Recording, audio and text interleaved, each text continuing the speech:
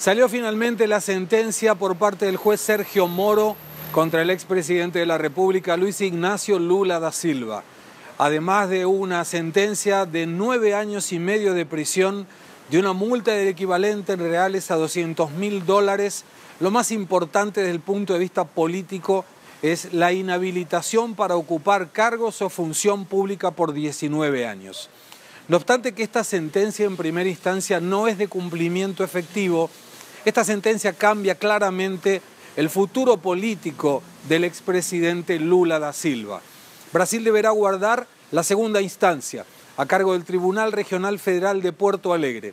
De confirmar la sentencia, Lula no iría preso a una cárcel normal, sino que iría a prisión domiciliar por tener más de 70 años. Pero lo más importante, si el Tribunal Regional Federal confirma la sentencia del juez Sergio Moro, Lula no podrá ser candidato a las elecciones presidenciales de octubre del 2018.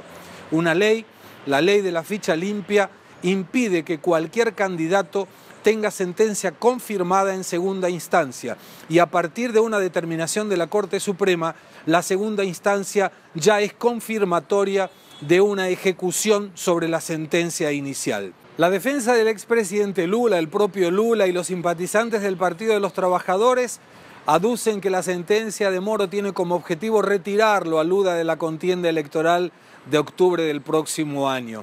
Lo cierto es que como Lula está primero en las encuestas para la primera vuelta, pero el rechazo en la segunda vuelta es mucho mayor, lo que dice Lula es quieren evitar que sea candidato para que vuelva al Brasil a retomar el crecimiento de un país que está económicamente destruido.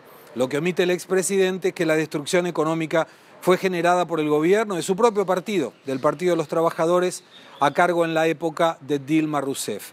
Brasil consiguió una proeza única.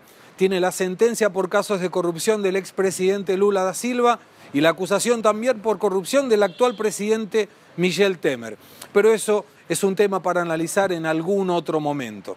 Lo importante no interesa quién es el nombre del acusado, el cargo que ocupa o el cargo que ocupó si tiene que dar cuentas a la justicia, la justicia en Brasil, una justicia independiente y que claramente consigue aplicar leyes que sirven para que arrepentidos se arrepientan y para que jueces implementen la ley, está funcionando de una forma impecable, como nunca se vio.